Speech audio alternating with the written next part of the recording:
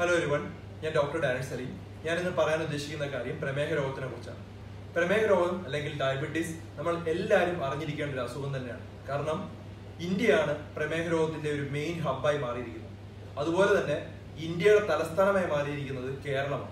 ലക്ഷക്കണക്കിന് ആളുകളാണ് ഓരോ വർഷവും ഡയബറ്റീസ് കണ്ടുപിടിക്കപ്പെടുന്നതും അതുപോലെ മരണമടയുന്നതും അതുപോലെ തന്നെ അതിന്റെ പ്രശ്നങ്ങൾ കാരണം ജീവിതത്തിൽ ബുദ്ധിമുട്ടുന്നത്.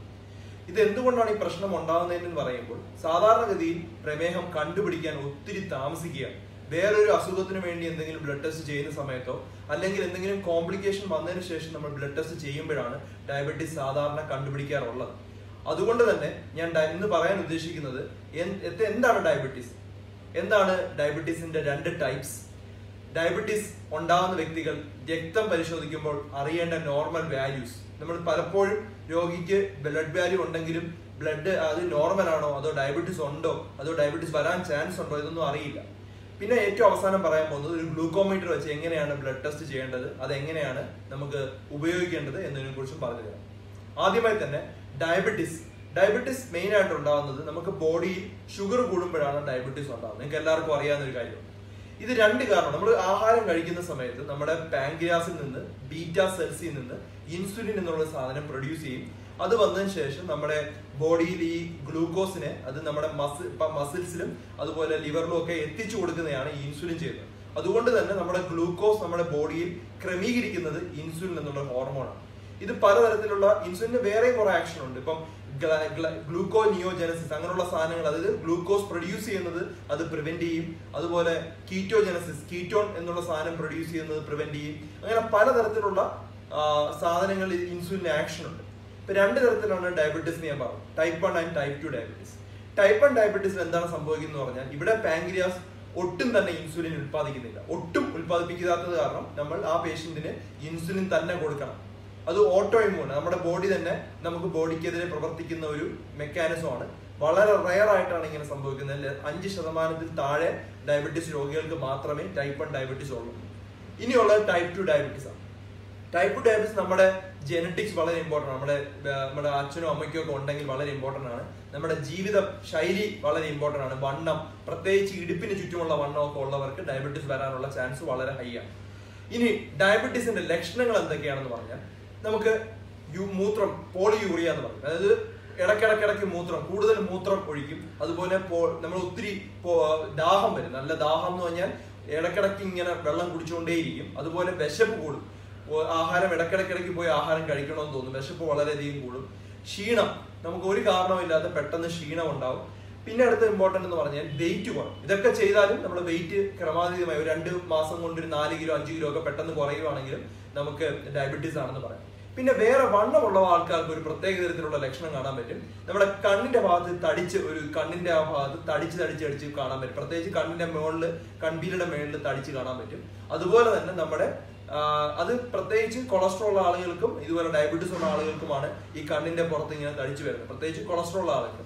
പിന്നെ ഈ വണ്ണമുള്ള ആളുകൾക്ക് വേറെ കാണുന്നത് ഈ തൊലിയുടെ ബാക്കിലും പ്രത്യേകിച്ച് കഴുത്തിന്റെ ബാക്കിലോ അല്ലെങ്കിൽ ഇടി കക്ഷത്തിന്റെ ഇടുക്കിലൊക്കെ കറുപ്പ കളറിൽ വരും. അപ്പൊ ഇങ്ങനെയുള്ള ആൾക്കാർക്ക് ഷുഗർ നോക്കുമ്പോൾ ചിലപ്പോൾ ഷുഗർ നോർമൽ ആയിരിക്കും. പക്ഷെ ഈ ഒരു വ്യക്തി ഡയബറ്റീസ് വരാനുള്ള ചാൻസ് വളരെ ഹൈ ആണ്. അപ്പം നിങ്ങൾ മനസ്സിലാക്കണം ഈ കറുത്ത സാധനങ്ങൾ കണ്ടു തുടങ്ങിയ തൊലിക്കകത്ത് കറുപ്പ് കളർ കണ്ടു തുടങ്ങിയ പ്രത്യേകിച്ച് വണ്ണമുള്ള ആൾക്ക് കറുപ്പ് കളർ കണ്ടു തുടങ്ങിയാൽ അതിനർത്ഥം ഉടനെ തന്നെ എനിക്ക് ഡയബറ്റീസ് വരാനുള്ള ചാൻസ് ഹൈ ആണ്. ഇനി ഞാൻ പറയാൻ പോകുന്നത് ബ്ലഡ് ടെസ്റ്റിനെ കുറിച്ചാണ്. നമുക്ക് അറിയേണ്ടത് ഒരു അഞ്ചോളം ബ്ലഡ് ടെസ്റ്റ് ആണ്. Fasting blood sugar fasting blood sugar നൂറ്റി ഇരുപത്തി ആറ് മില്ലിഗ്രാം പെർ ഡെസി ലിറ്ററിന്റെ മേളിലാണെങ്കിൽ നിങ്ങൾക്ക് ഡയബറ്റീസ് ഉണ്ട്. ഫാസ്റ്റിംഗ് ബ്ലഡ് ഷുഗറിനെ കുറിച്ച് തൽക്കാലം ഇത് അറിയാം ഇതിന്റെ ഡീറ്റെയിൽ ആയിട്ട് ഞാൻ പറയാം. ഇനി നമുക്ക് അറിയേണ്ടത് P P B S post prandial blood sugar ആഹാരം കഴിച്ചതിന് ശേഷം രണ്ട് മണിക്കൂർ കഴിഞ്ഞ് ചെയ്യുന്ന ടെസ്റ്റ് ആണ്. ഇത് ഇരുന്നൂറ് മില്ലിഗ്രാം പെർ ഡെസിലിറ്ററിന്റെ മേളിലുണ്ടെങ്കിൽ നിങ്ങൾക്ക് ഡയബറ്റീസ് ഉണ്ട്. അടുത്തത് അറിയേണ്ടത് റാൻഡം ബ്ലഡ് ഷുഗർ ഇടയ്ക്കിടയ്ക്ക് നോക്കുന്നത് എപ്പോ വേണമെങ്കിലും ഇടയ്ക്ക് നോക്കുന്ന ഒരു ഷുഗറാണ് അത് ഇരുന്നൂറിന്റെ ഇരുന്നൂറ് മില്ലിഗ്രാം പെർ ഡെസിലിറ്ററിന്റെ മേളിലാണെങ്കിൽ നിങ്ങൾക്ക് ഡയബറ്റീസ് ഉണ്ട്. ഇനി H B A one C അതിനെ നമ്മൾ ഗ്ലൈക്കേറ്റഡ് ഹീമോഗ്ലോബിൻ എന്ന് പറയും. മൂന്ന് മാസത്തിൽ കമ്പൈൻ ആയിട്ട് കിട്ടുന്ന ഒരു ഷുഗറാണ് അത് നമ്മൾ ബ്ലഡ് വഴിയാണ് കണ്ടുപിടിക്കുന്നത്. അത് സിക്സ് പോയിന്റ് ഫോർ പെർസെന്റിന്റെ മേളിലാണെങ്കിൽ ആറ് പോയിന്റ് നാല് ശതമാനത്തിന്റെ മേളിലാണെങ്കിൽ ഡയബറ്റീസ് ഉണ്ട്. ഇനി അവസാനമായി അഞ്ചാമത് അറിയേണ്ടത് ഒ ജി ടി ടി എന്നാണ്. അതിനെ ഓറൽ ഗ്ലൂക്കോസ് ടോളറൻസ് ടെസ്റ്റ് എന്ന് പറയും. ഇത് പ്രസവ പണ്ടൊക്കെ പ്രഗ്നൻസി ആകുമ്പോൾ കൊടുക്കുക നമ്മൾ ഒരു വെള്ളം കുടിക്കാൻ കൊടുക്കും ഒരു മധുരമുള്ള വെള്ളം കുടിക്കാൻ കൊടുക്കും. അതിനുശേഷം ബ്ലഡ് ചെക്ക് ചെയ്യുന്ന സമയത്ത് നമ്മുടെ ബ്ലഡിന്റെ ഷുഗർ ഇരുന്നൂറ് മില്ലിഗ്രാം പെർ ഡെസിലിറ്ററിന്റെ മേളിലാണെങ്കിൽ നമ്മൾ പറയുന്നതാണ് O G T T positive അല്ലെങ്കിൽ ഡയബറ്റീസ് ഉണ്ടെന്ന് പറയും അതിപ്പം നോർമൽ ആയിട്ടുള്ള വ്യക്തികൾക്കും ഒ ജി ടി ടി ചെയ്തു തുടങ്ങിയിട്ടുണ്ട്. അത് വളരെ എഫക്റ്റീവ് ആയിട്ടുള്ള ഒരു മെത്തേഡാണ് ഇനി ഓരോന്നും ഞാൻ ഡിസ്ക്രൈബ് ചെയ്യാം. ഇപ്പൊ നിങ്ങൾക്ക് മനസ്സിലായി എന്താണ് ഡയബറ്റീസിന്റെ കട്ട് ഓഫ് ഇത്രയും വാല്യൂ നിങ്ങൾ നിർബന്ധമായി അറിഞ്ഞിരിക്കാം ഇനി എന്താണ് ഫാസ്റ്റിംഗ് ബ്ലഡ് ഷുഗർ എന്ന് പറയുന്നത് ഫാസ്റ്റിംഗ് ബ്ലഡ് ഷുഗർ നമ്മൾ ഫാസ്റ്റിംഗ് എട്ട് മണിക്കൂർ ആഹാരം കഴിക്കാൻ പാടില്ല. ആഹാരം കഴിക്കാത്ത നമ്മൾ പോയി എടുത്ത് ബ്ലഡ് ചെക്ക് ചെയ്യുമ്പോഴാണ് ഫാസ്റ്റിംഗ് ബ്ലഡ് ഷുഗർ കിട്ടുന്നത്. ഞാൻ പറഞ്ഞു നൂറ്റി ഇരുപത്തി ആറിന്റെ മേളിലാണെങ്കിൽ ഡയബറ്റീസ് ഉണ്ട്. പക്ഷേ പ്രീ ഡയബറ്റീസ് എന്നൊരു കണ്ടീഷൻ ഉണ്ട്. പ്രീ ഡയബറ്റീസ് എന്ന് പറഞ്ഞാൽ ഷുഗർ വരാൻ ചാൻസ് വളരെ ഹൈ ഉള്ള ആളുകൾ.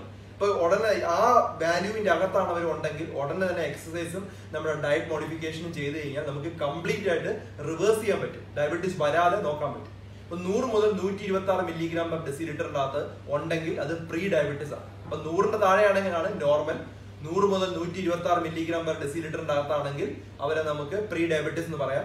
നൂറ്റി ഇരുപത്തി ആറ് മില്ലിഗ്രാം പെർ ഡെസിലിറ്ററിന്റെ മേളിലാണെങ്കിൽ ഡയബറ്റീസ് എന്ന് പോസ്റ്റ് ബ്രാൻഡിൽ ബ്ലഡ് ഷുഗർ ഇപ്പൊ അധികം നോക്കാത്തില്ല. പണ്ട് പക്ഷെ പല ഡോക്ടേഴ്സ് ഇപ്പോഴും ചെക്ക് ചെയ്യുന്നുണ്ട് P P B S P P B S ആഹാരം കഴിച്ചതിന് ശേഷം രണ്ട് മണിക്കൂർ കഴിഞ്ഞ് ചെക്ക് ചെയ്യുന്നതാണ്.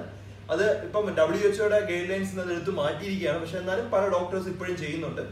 ഇതിന്റെ വാല്യൂ എന്ന് പറഞ്ഞാൽ നൂറ്റി നാൽപ്പതിന്റെ താഴെയാണ് താഴെയാണ് വരേണ്ടത്. അത് നോർമലാണ് നൂറ്റി നാൽപ്പതിനും നൂറ്റി തൊണ്ണൂറ്റി ഒമ്പതിനും ഇടയ്ക്കാണെങ്കിൽ അത് പ്രീ ഡയബറ്റിസും ഇരുന്നൂറിന്റെ മേളിലാണെങ്കിൽ അത് ഡയബറ്റീസ് എന്നുള്ളതാണ് നിങ്ങൾ അറിഞ്ഞിരിക്കേണ്ടത്. അപ്പൊ ഇത്രയും കാര്യമാണ് പി പി ബി എസ് ഇനി random blood sugar random blood ഷുഗറും പി പി ബി എസും ഒരുപോലെയാണ്.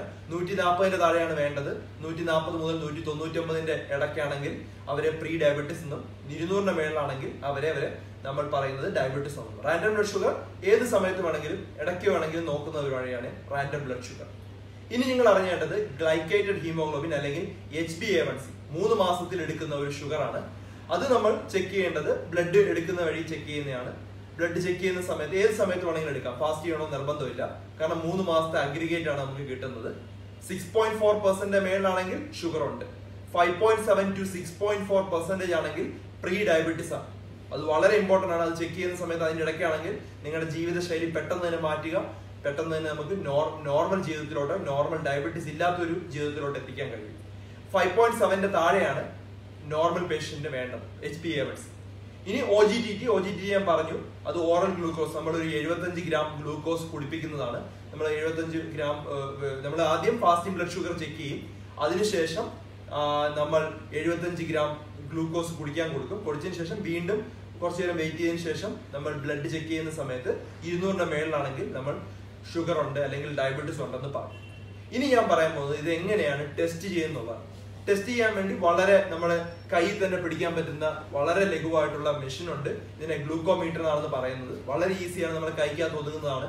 എല്ലാവർക്കും വാങ്ങിച്ചു വെക്കാൻ പറ്റും. ഇത് നിങ്ങൾക്ക് ചെക്ക് ചെയ്യാം. ഇതിന്റെ ആക്യുറസി ഞാനൊക്കെ പഠിക്കുന്ന സമയത്ത് ഇതിന് അറുപത് ശതമാനം ആക്യുറസി ഉള്ളായിരുന്നു അത്രയും തെറ്റുകൾ ഉണ്ടായിരുന്നു പക്ഷെ ഇപ്പൊ അത് തൊണ്ണൂറ് ശതമാനം ആക്യുറസി ഉള്ള മെഷീൻസ് ആണ് ഇപ്പൊ മാർക്കറ്റിൽ അവൈലബിൾ ആയിട്ടുള്ളത്.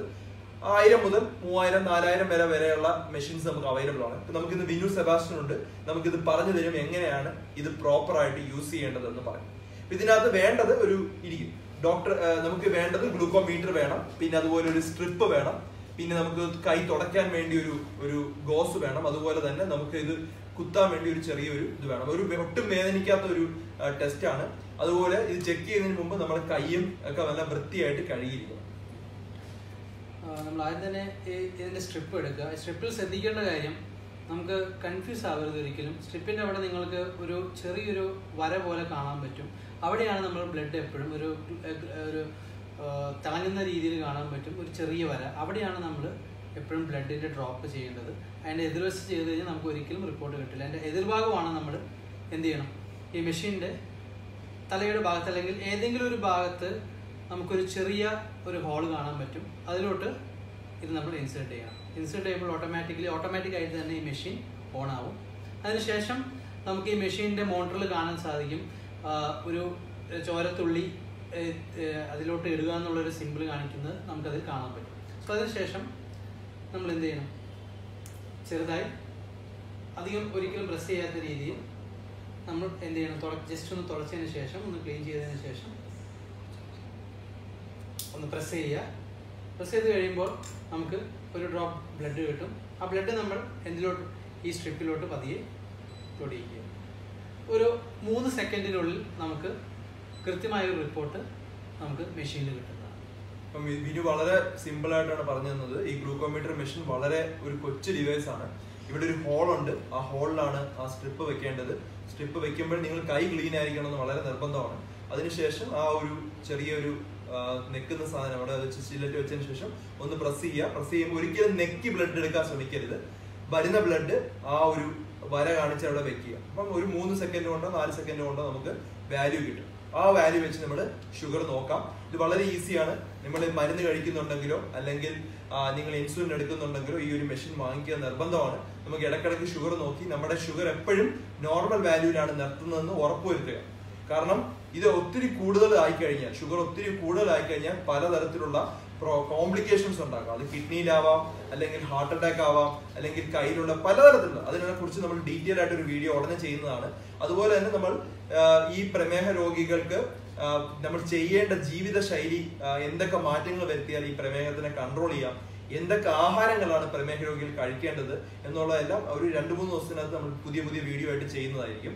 പിന്നെ ഇതൊരു നിശബ്ദ കൊലയാളിയാണ് ഈ ഡയബറ്റീസ് അതുകൊണ്ട് തന്നെ നിങ്ങൾ ഇത് കണ്ടുപിടിക്കണം. അതാണ് ഏറ്റവും ഇമ്പോർട്ടന്റ് ആദ്യത്തെ നമ്മൾ ആ പ്രീ ഡയബറ്റീസ് സ്റ്റേജിൽ തന്നെ ഗ്ലൂക്കോസ് ഈ ഡയബറ്റീസ് കണ്ടുപിടിക്കാൻ ശ്രമിക്കുക. കാരണം നമുക്ക് ഇത് കംപ്ലീറ്റ് ആയിട്ട് റിവേഴ്സ് ചെയ്യാൻ പറ്റുന്ന ഒരു അസുഖമാണ്. അതുകൊണ്ട് തന്നെ നിങ്ങൾ ഈ വാല്യൂസ് എല്ലാം ഓർത്തിരിക്കുക. നിങ്ങൾക്ക് ഇത് മറന്നു പോകുന്നുണ്ടെങ്കിൽ ഈ വീഡിയോ നിങ്ങൾ ഷെയർ കോപ്പി ചെയ്ത് വെക്കുക. അല്ലെങ്കിൽ ഷെയർ ചെയ്യുക. അപ്പൊ നിങ്ങൾക്ക് അല്ലെങ്കിൽ എഴുതിയെടുത്ത് വെക്കുക എവിടെയെങ്കിലും. മറക്കാൻ പാടില്ല ഒരിക്കലും ഈ വാല്യൂസ് കാരണം ഡയബറ്റീസ് കണ്ടുപിടിക്കുന്ന എല്ലാവരും കാര്യം പ്രീ ഡയബറ്റീസ് സ്റ്റേജിലെ നമ്മൾ നോർമൽ ആയിട്ട് എത്രയും പെട്ടെന്ന് കൺവേർട്ട് ചെയ്താൽ നമുക്ക് നോർമൽ ആയിട്ട് ഒരു ലൈഫിലോട്ട് എത്താൻ കഴിയും. ഇപ്പൊ പുതിയൊരു ടോപ്പിക്കുമായി ഡോക്ടർ ഡി ഹെൽത്ത് ടിപ്സ് ഉടനെ വരുന്നതായിരിക്കും.